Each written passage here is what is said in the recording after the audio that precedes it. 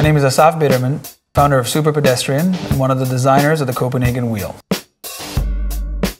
The Copenhagen Wheel is a complex device. It's a robot, but it's also a vehicle. It's automated, yet it needs to be fully controlled by a human. It needs to be rugged, but it also needs to look and feel great. Nobody built anything like this yet. We spent the first year building the product from the ground up. We built a design and engineering facility in Cambridge, Massachusetts, and recruited experts in robotics, manufacturing, supply chain, quality control, and testing. We've been building the first units of our production level designs, and we're very happy with the results. The wheel is a powerful new drivetrain, a new powertrain, and a new control system that's distributed between six boards, each in charge of a different task. It also has a novel torque sensing technology that is lighter, more compact, and more precise, so the wheel can respond to a rider's pedaling very naturally. We've redesigned the housing of the wheel using exotic alloys instead of aluminum, allowing us to retain structural integrity while reducing the weight of the shell in almost half.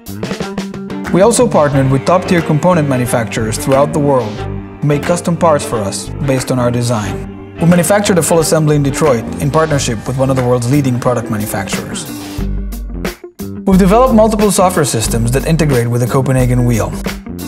With the mobile app we developed, you can control the wheel, you can go back and visualize it, see your trip, distance traveled, average velocity, a whole bunch of statistics, all the way down to the level of wattage coming out of your feet. On our backend, we developed an API and an SDK so that software developers could develop special apps for the Copenhagen wheel, just like you can do with a smartphone. Quality is very important to us. Because of the sheer number of new technologies we develop for the Copenhagen wheel, we are building in more testing time to ensure the best possible product.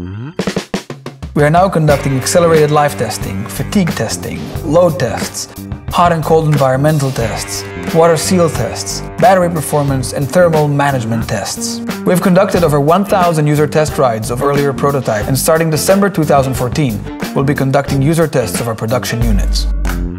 Testing and certification will continue through the first quarter of 2015. After that, production will ramp up for delivery in the spring.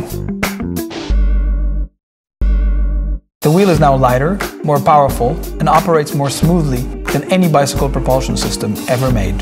We've made a firm commitment to deliver the highest quality product, and we thank you for your support.